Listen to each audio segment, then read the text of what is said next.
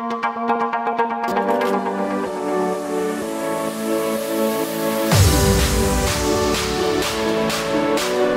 ich jetzt hier den Hebel drücke, müsste ich wieder abtauchen. Es war schon immer unser Traum, ein Fluggerät zu bauen, mit dem wir wirklich selber fliegen können.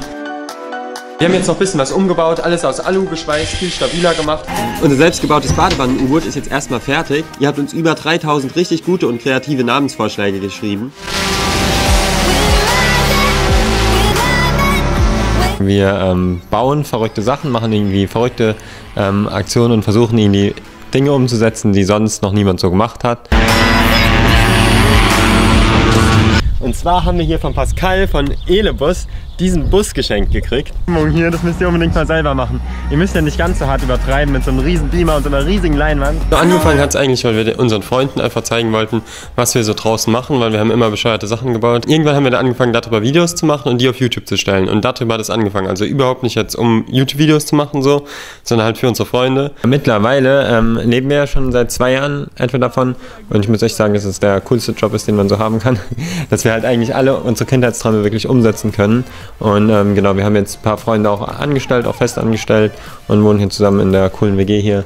Und ähm, ist schon so ein kleiner Traum, den man leben kann, auf jeden Fall. Wenn ihr Lust habt, da mitzukommen oder auch so wissen wollt, wie es weitergeht, dann folgt uns mal auf Instagram. Unser Badewannen-U-Boot würde ich mir vielleicht vorher noch ein paar mehr Gedanken machen, ob, das, ob man wirklich 10 Meter tauchen will, wenn es bei 12 Metern implodiert. Ich glaube, da haben wir auch ein paar Schutzengel dabei gehabt. Grundsätzlich versuchen wir immer neue Grenzen aufzustellen, neue, eben unsere alten Grenzen auch irgendwie zu überschreiten. Gerade die Grenzen zu überschreiten, die einem so gesetzt werden oder wo man denkt, okay, es ist nicht möglich, mit einer Badewanne zu fliegen, es ist nicht möglich, einfach so selber privat so ein Ding zu bauen.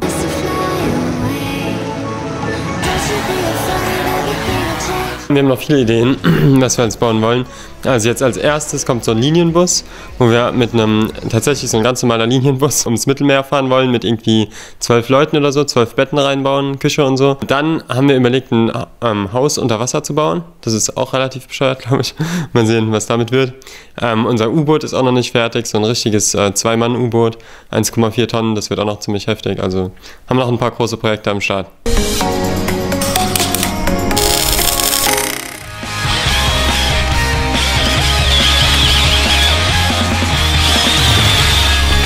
Also ich habe mir Gott tatsächlich immer so als so ganz strengen alten Mann vorgestellt, der halt so, ähm, keine Ahnung, wenn ich irgendwas falsch mache, dann äh, gibt es halt direkt Schläge. Ja, oder so ein Polizist halt, der wirklich da steht ja. und die ganze Zeit aufpasst. Also wir haben ja schon immer ein bisschen Probleme mit Regeln gehabt und ähm, da war das immer so, dass ich auch so gedacht habe, Gott ist bestimmt so einer, der steht oben mit so einem Rohrstock in der Hand, so ein alter Mann, der überhaupt kein, äh, gar keine Freude hat und auch keine Lust hat, dass wir irgendwie Spaß im Leben haben ja, genau. und ähm, uns erst recht jede Freiheit nimmt. Ich glaube, dass wenn man Gott wirklich mal richtig kennenlernt und äh, wirklich Erfahrungen auch mit ihm macht und wirklich sein Herz so versteht, ähm, dass man dann ein ganz anderes Gottesbild bekommt, sondern dass Gott eben genau das Gegenteil ist. Also Gott ist nicht nur die Liebe, sondern er will auch wirklich ähm, für uns einfach das Beste und er weiß, glaube ich, dass wir sehr abenteuerlustige Menschen sind und er hat uns auch so geschaffen. Samuel hat gerade gesagt, seine Lieblingsfortbewegung ist mich zu überschlagen, das stimmt tatsächlich. Und deswegen hat er genau dieses perfekte Leben für uns auch vorbereitet und ähm, schenkt uns nicht nur Freiheit, sondern auch dieses äh, Leben in Fülle, also wirklich das Real Life. Also wir heißen ja auch die Real Life Guys. Und wie war's? Kann ich euch das abkaufen? Ich glaube, wo ich, wo ich das wirklich so erlebt habe und einfach Gott auch mit in den Alltag ähm, genommen habe, haben wir beide das so krass erlebt, dieses Leben in Fülle, was Gott einem wirklich schenkt.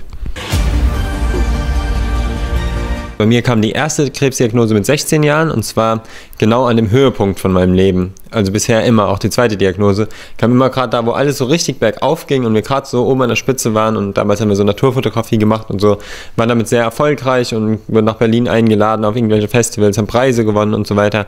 Und genau da kam dann die Diagnose. Ich habe am nächsten Morgen meine Bibel aufgeschlagen und habe so gesagt, also ich habe dieses alte Buch halt auf meinem Nachttisch so da liegen sehen und habe so gedacht, okay, Gott, ähm, du hast meine Frage gehört und du hast jetzt eine Chance. Wenn es wenn, dich wirklich gibt, wenn du wirklich dieser Gott bist, dann gebe ich dir jetzt eine Chance, mir zu antworten. Und ich schlage halt die Bibel auf und habe gerade in Hiob aufgeschlagen, wo steht, Gott antwortet. Und habe das gelesen, wo Gott dann sagt, so, warum, äh, also du kleiner Mensch, warum fragst du nach dem Warum? So, ich habe dich geschaffen, ich habe die ganze Welt geschaffen, ich habe alle Tiere geschaffen. Ähm, und guck mal, wer, wer du überhaupt bist. Und das hat mir Gott so ein bisschen gezeigt. Ich muss ganz ehrlich sagen, dass ich vorher in meinem Leben eben ähm, noch nie gewusst habe, was Angst ist. Also ich habe nie Angst gehabt, als ich im U-Boot saß oder als ich ähm, selbst in der fliegenden Badewanne oder so. Ähm, ich mache mir da keine Gedanken drüber, dass ich eventuell auch nicht überleben könnte, obwohl wir sehr riskante Sachen schon gemacht haben in der Vergangenheit. Aber in dem Moment, wo ich die Diagnose halt bekommen habe, habe ich wirklich so gemerkt, dass ich mein Leben null unter Kontrolle habe und dass ich alles, was ich gerade plane, überhaupt nicht ähm, von mir aus umsetzen kann. Also ich kann nichts planen, ich kann keine Beziehungen eingehen, ich kann keinen Kredit aufnehmen, gar nichts, wenn der Tumor auch jedes Mal wieder zurückkommen kann. Also gerade bei der zweiten Diagnose habe ich wirklich so eine richtig krasse Existenzangst bekommen. Ich denke, das erste Mal in meinem Leben war das, wo ich wirklich Angst gekriegt habe. Und ähm, bin da auch in irgendwie so ein Loch gefallen, wo ich wirklich nochmal gemerkt habe, okay, ich brauche da Hilfe, ich komme da alleine nicht mehr raus. Diese Angst kann mir auch niemand nehmen, weil selbst der beste Psychologe der Welt wird mir niemals diese Angst nehmen können, weil das eine berechtigte und begründete Angst ist. Und ähm, da bin ich sehr dankbar dafür, dass Gott mir die dann wirklich tatsächlich weggenommen hat. Ja. Im Moment ist es äh, ein sehr spannendes Thema, weil ich denke, dass es auch kein Zufall ist, dass ich im Moment gerade wieder eine dicke Beule auf der Brust habe. Und zwar ist es tatsächlich so gekommen, dass ich ja im Sterben lag. Also ich war wirklich an der Situation angekommen, wo der Arzt gesagt hat, das sind die Blutwerte von einem Sterbenden. Und ich wusste da auch nicht mehr genau, wie ich weitermachen äh, soll und lag wirklich nur noch im Bett. Ich konnte auch nicht mehr aufstehen, ich konnte gar nicht mehr zum Arzt gehen. Gott hat mich aus dieser Situation rausgeholt. Also der Arzt hat wirklich dann konkret gesagt, ähm, wenn Sie jetzt ähm, die Chemo und so weiter ablehnen, dann müssen Sie sich jetzt ganz auf Ihren Jesus verlassen. Der muss Sie da rausholen. Das hat Jesus gemacht, also hat mich definitiv gesund gemacht und jetzt auch zwei Jahre wirklich äh, richtig fett gemacht und auf die Beine gestellt und so weiter. Aber ähm, genau an dem Tag wirklich, wo ich mein Buch, ähm, also wo ich das Manuskript abgeschickt habe, habe ich in den Spiegel geguckt und habe gesehen, Mist, ich habe wieder zwei Beulen auf der Brust. Und das war bisher bei mir immer das Anzeichen, dass eben der Tumor zurück ist. Und ähm, erstmal bin ich schon in so ein kleines Loch gefallen, ein großes Loch gefallen und ähm, war da wirklich erstmal ein bisschen fertig.